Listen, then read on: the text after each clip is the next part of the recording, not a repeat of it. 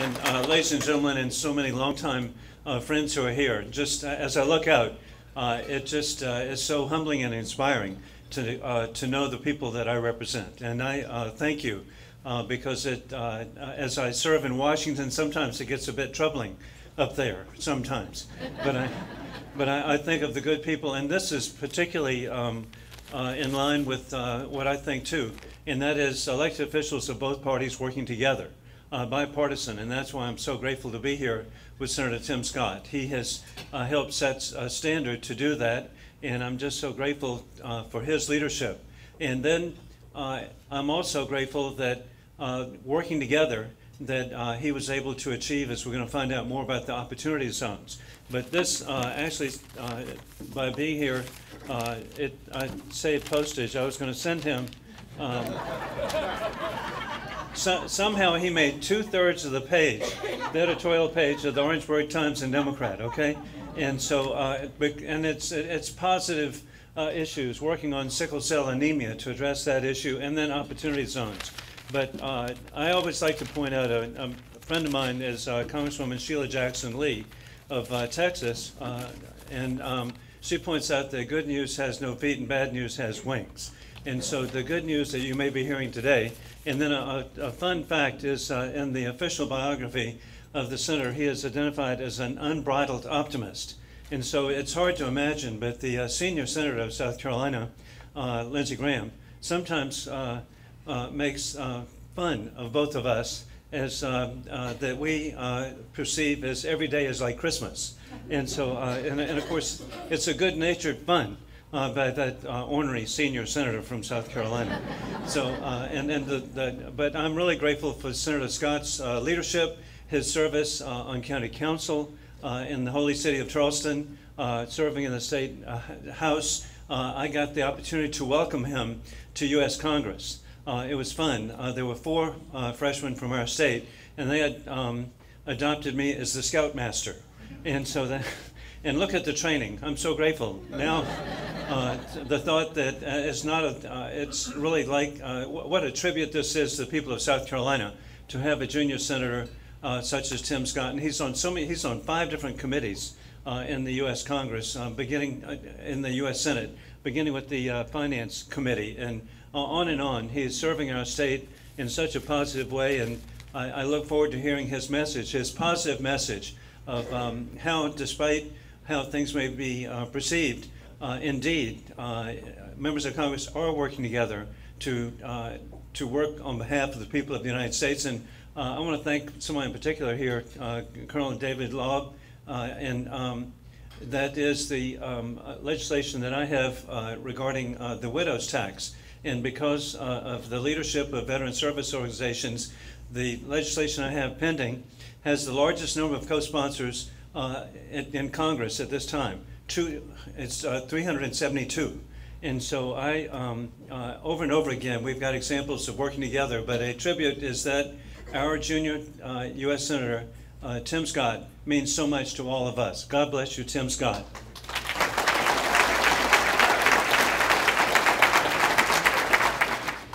It's always good to be home in South Carolina, and it's really good to be back in Aiken. Uh, thank you all for giving me an opportunity to talk about one of my favorite subjects, the subject of opportunity zones. But before I do so, I do want to uh, just uh, refer back to Joe Wilson, our congressmember for this district. Thank you, Joe, for your leadership. And without any question, anybody too cheap, I mean, too frugal. sorry, sorry, sorry anybody too frugal to, to mail this to me is the kind of guy we need to keep in Congress, by the way. This is the kind of guy we need in Congress. So, Joe, that's, that's, that's a, a plug because he really is that cheap. So, this is awesome. God, God bless you, Joe. He's a good Republican. he is indeed. I, will say that if you think about uh, Joe being our scoutmaster and myself, Jeff Duncan, Mick Mulvaney, and Trey Gowdy being his uh, Boy Scouts. Uh, we are thankful that all jokes aside, the four of us coming into Congress together uh, lost like a goose in a rainstorm. to, to have you there to help us understand and appreciate the significance of the responsibility of serving the country before you serve yourself we appreciate that. Now, I will say that Jeff Duncan has been a star. He's on Energy and Commerce. He continues to do well. Uh, yeah, those, yeah, he really has done really well.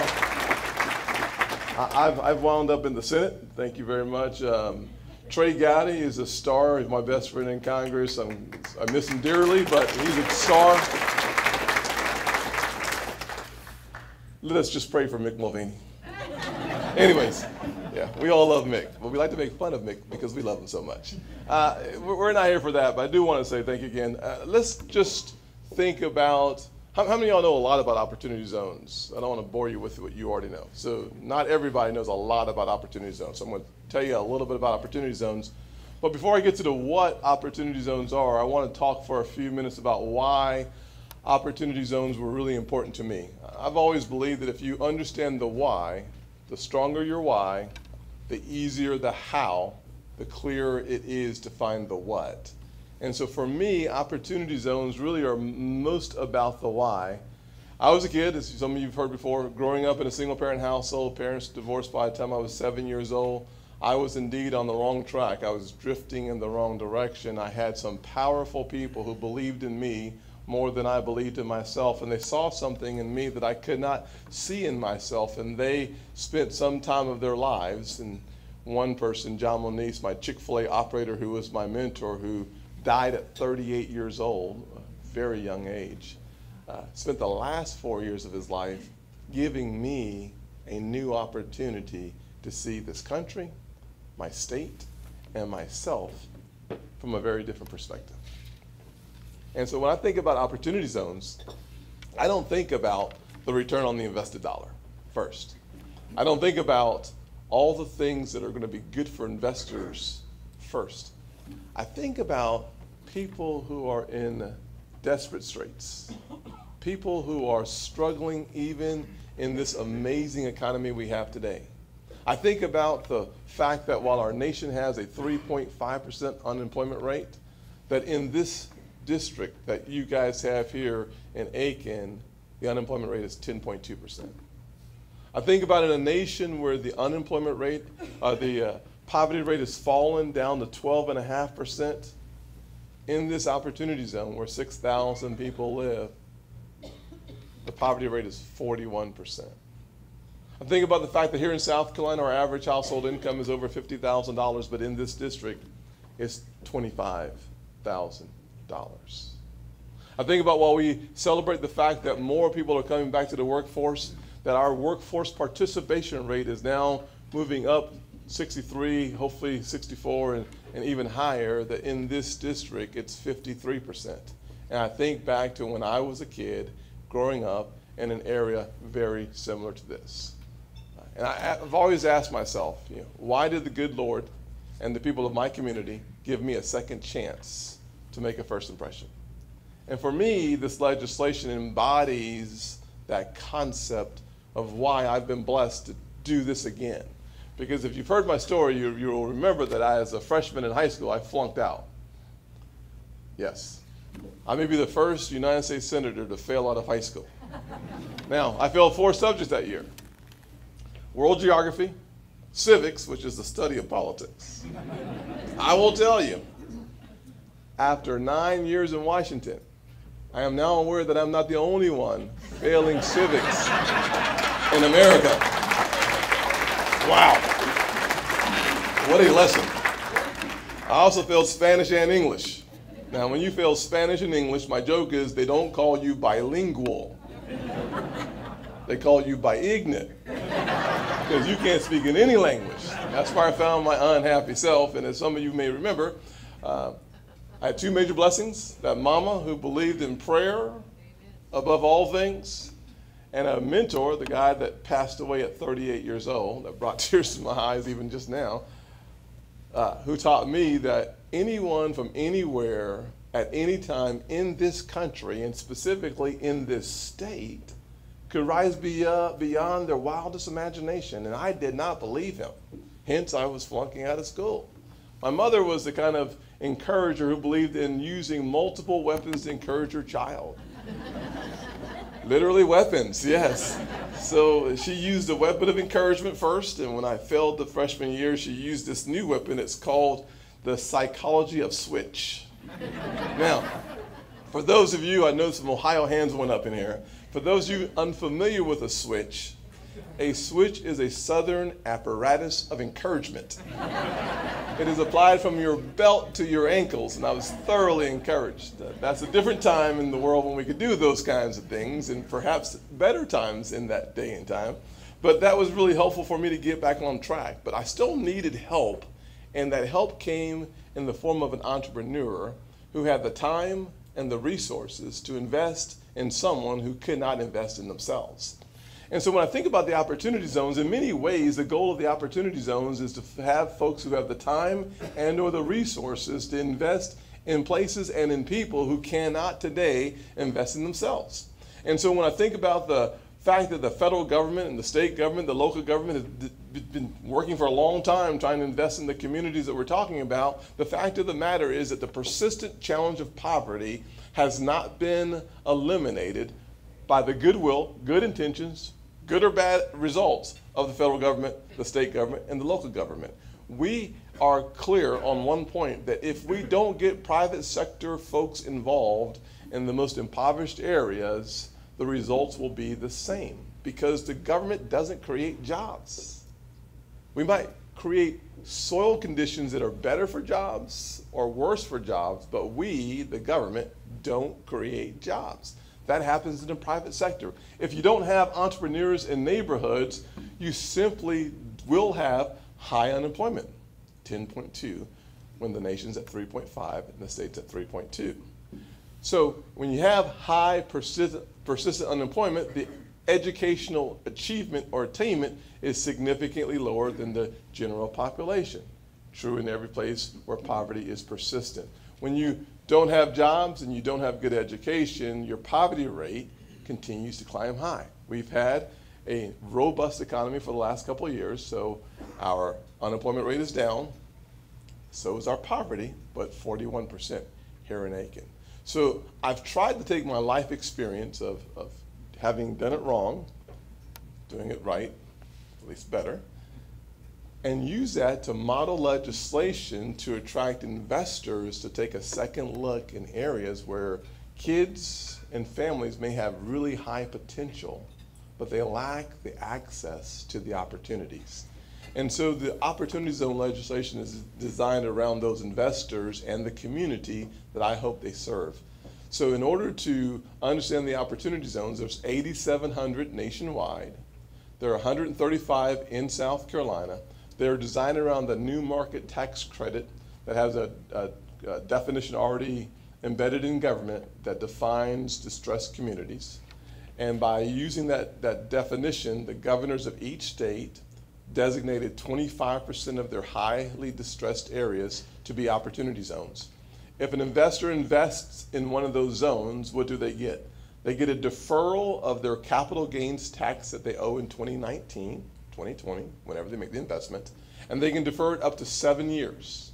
They still owe the tax, but if you stay in the investment for seven years, you can reduce your taxes by 15%, your capital gains tax only. If you will invest in that zone, not only do you defer your original capital gains tax, not only can you reduce that original capital gains tax, but in your new investment, if you keep it there for 10 years, you owe no new capital gains tax. And that's where the opportunity zone really comes to life. So what's happened over the last uh, couple of years with the opportunity zones now coming fully to market? A lot of good news in a lot of different areas with conscientious investors changing communities without running people out. So one of the questions that always comes up is the issue of gentrification fewer than 4% of the zones are showing any signs of gentrification, but what they are showing is an 8% increase in income. They're showing a 20% increase in property values with almost 60% of the people owning their own property. The wealth gap that is strong in America and almost a chasm is really defined by home ownership. Uh, for most people in America, our homes are our greatest asset. If you own one, your net worth increases. If you don't, you don't really have a net worth. And this is one of the opportunities that we have in zones to create more affordable housing for those folks who are credit worthy but can't afford the down payment or the regulatory burden to actually get a house. We are working on ways to reduce that burden from a regulatory standpoint. The president had an executive order a few months ago led by HUD Secretary Ben Carson to improve the regulatory challenges that it takes to get a house, and the opportunity zones will help provide incentives for higher density in certain areas that pro- provides a lower cost per point for those folks who are eligible to be homeowners. So with that, I'm talking about this for a long time, but I know there's a chance for a Q&A I heard. Uh, Is that right? Very good. So let me just say my rules on Q and A. I don't like your question, I won't answer it. Just joking, just joking. We- We've got a few questions. The first one would be, what would likely be a minimum investment necessary to attract participation from either opportunity zone investment funds or generally in opportunity zones? Yes, ma'am. So the easy answer is that the way the legislation is designed is to make sure that even a small business owner, business owner like myself, when I sold my business, when I ran, won my congressional race, I had to sell my assets.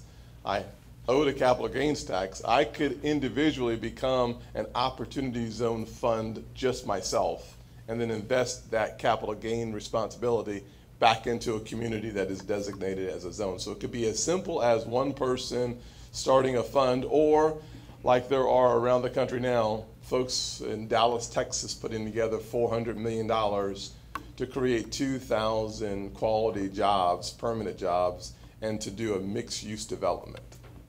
Wonderful. We have, all these questions have been submitted by people, so if there are some folks that have more questions, Mike Stake is gonna run around and pick those up from you. So here's another one. Has this been implemented somewhere else?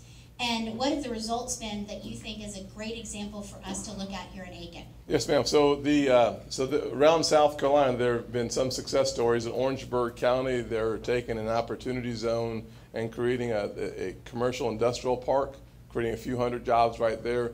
The South Carolina State University in Orangeburg, it looks like they're going to be working with some former NFL players who are looking to invest in student housing. So that's another opportunity there. There's also in Charleston, there is a tech corridor that is a 54 or 55 million dollar project that's coming off the ground. There are certainly uh, low, high, high tech manufacturing being built uh, in different parts of the state. Uh, there's in Columbia an old uh, abandoned uh, movie theater has been renovated, and they're partnering with a church now, and they've started hiring folks from the community, giving them that first rung on the economic ladder. There's uh, in Greer, the old Greer cotton mills has been turned into uh, affordable housing and workforce housing as well. Uh, there's another project in Spartanburg that's near the North Point project that is a testament to getting having a collaboration between the existing community and the new investors working together to transform the community. So that's just in South Carolina. In, in uh, Tennessee, there is a project that is coming together now. It's project is phase one. It's a $950 million project that takes uh, retail, affordable housing, workforce housing, and affluent housing, as well as some light industrial exposures as well. Uh, I think it's like 60 acres that they're redeveloping. Um, the one in Dallas, Texas, there's one in south side of Chicago, I believe it's south side, that is a 3,000 new employee project as well. There's a friend of mine, Barry uh, Kennedy out of Mississippi, who's uh, involved in 15 projects. So they are happening all around the country and frankly, all, all around South Carolina, more importantly. Wow. So this question is, how will opportunity zones ensure that property tax values for existing homes not go beyond affordability for those who remain in them? Well, I will say that uh, I like to be clear on my answers when I think that clarity is necessary. This is one of those places. Uh, the opportunity zones don't guarantee anything as it relates to property values. Uh, so that's important. That type of question really is a question that's probably better for your city, county, and/or uh, state officials. There are a myriad of ways from assessment caps and ratios to deal with the increase of property values and what that could do to uh, the ability to own the home or stay in the home. So uh, the only thing worse than higher property values is decay, which leads to lower property values. So it's an important question, but one that can be uh, answered in a multiplicity of ways on the local level more so than the federal level. The, the Opportunity Zone legislation does not address specifically assessment ratios, caps, and/or um, the positive problem of having too much uh, value in your home. Is there a benefit for government contractors such as SRNS to do business with firms within the opportunity zones? Well, I I don't know how to answer that question. Once again, the answer is similar to the previous question. I think the answer is there's always an opportunity to collaborate and to cooperate with folks in expanding your business systems. If there are, if there are uh, areas near a site that could, or contiguous with a site that could be used within an opportunity zone to expand uh, future future ventures, then the answer would be yes. It would be a, a far more complicated answer because you would actually have to understand and appreciate the objectives and where the land is and how often they want to uh, invest, how long they're going to invest. Are a lot more to do when you ta- start talking about a specific entity investing in a specific zone that they're currently not in. So this is a long question. I'm gonna, I thought that last one was too, by the way. So. I'm just joking. I don't ask ask all the questions. Don't do. Yeah, take. Yeah, just can you explain no new capital gains tax? That's a really short one. Okay, no, I can't explain that. so, yeah, so here, here, here's how it works. So, um, typically speaking, people who are investing in opportunity zones already owe the capital gains tax. So you've you've sold a business, you've uh, benefited somehow from the profit side, not the income side. Therefore, you owe a capital gains tax. You're going to take that original capital gains burden you have, and instead of paying the government that percentage, 23.8% if you're in the highest percentage bracket, instead of paying them, you can simply uh, take that cash or investment and invest it into an opportunity zone. When you make that original investment, you're now deferred your capital gains tax for seven years. Whatever you're investing in, you have a new exposure to a capital gains tax theoretically. However, if you keep that investment in the zone for 10 years, then you owe 0% on that new capital gains tax, which is a pretty strong opportunity. So given that the opportunity zones may be effective, how will people stay and work in these zones because of the job opportunities created? Will there be other government incentives or private incentives down the road that ensure they are remaining successful? Think, again, unfortunately, to be clear, uh, the answer is no. That I can't guarantee any actual outcome for any business and or for the citizens in zones, mostly because the risk, the calculated risk that someone is willing to take in any area of the country uh, is high in and of itself. When you're looking at the distressed communities, it's significantly higher, and one of the reasons why people are today not making investments in those areas. Therefore, the Opportunity Zone legislation creates an incentive but not a guarantee, which means that there's no guarantee payback and there's no guarantee that there's a floor if you lose it all. So we're, we're asking people to take a calculated risk, and that means that their, the guarantees won't be there. So Senator, this is a question a little off topic. That's okay. So, Will the widow tax repeal be included in the NDAA this year? Can you explain the 98 to 2 vote in the Senate to include the widow tax in the NDAA? So the 98 is easy to explain. The, nine, the 98 of us who voted for it. The two who did not vote for it is harder to explain. Uh, I think the widow's tax should be included. I think Joe and others have worked really hard to make sure that it is included. I think the cost from our perspective is a negligible cost. I mean, it's certainly a significant number, but for the sacrifices made and the prices paid, comparatively speaking, we should honor our commitment to our folks who serve this nation and to their family members. So it's a $5.7 billion cost.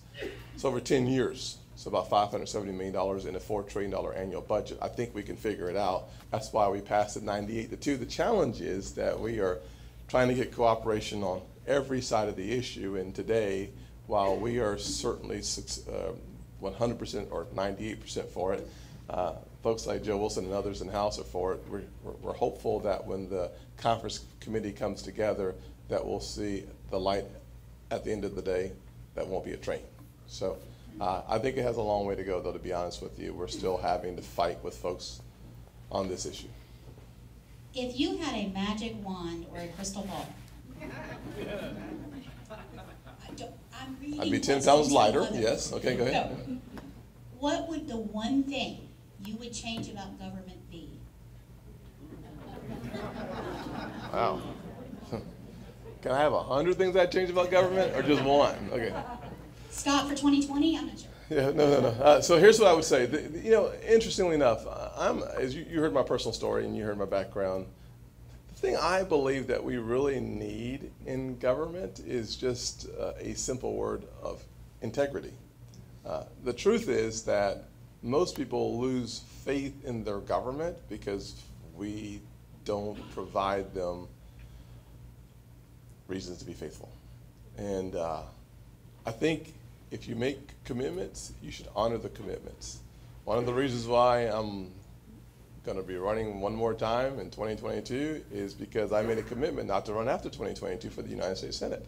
So you have to you have to honor your commitments, and I think it's so important to do that. Um, integrity would go a long way in this country, to be frank with you. Uh, I can't think of a more important issue. I could talk about you know, socialism versus free markets. I could talk about different nuances in healthcare or but the truth is that if you have elected officials that you can trust what they say, our country will be just fine. So thank you, Senator. Everybody here had other questions about opportunity zones and what the funds can be about, like an Yes, and all of those kind of things. And there will be an opportunity to talk about opportunity zones on October the nineteenth, on Saturday from ten to two at Highfields Event Center, where the Ideas Collaborative will work to collect everyone's suggestions, ideas, try and put together funds with investors, people looking for um, projects, people who own land, and all of those things. So we invite everyone here to come out on October the 19th to Highfields to continue this conversation again. Um, but Senator, thank you for being here today. Yes, ma'am. Okay.